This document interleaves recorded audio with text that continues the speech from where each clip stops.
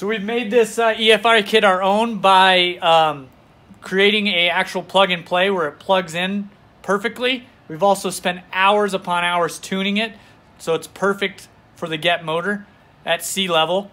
Um, we'll have different tunes for different modifications, different pipes, intakes, things like that. We've used the wideband sensor to make that absolutely perfect. So this should plug in just as easy as a carburetor should plug in and you're ready to go. It'll be better than the 20 millimeter carburetor, more, better performance, better throttle response, and I'll prove that in a later video. So here it is, stock GET motor.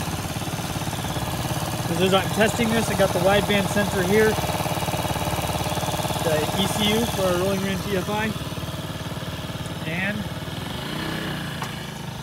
got it set to a 13.5. Here we go.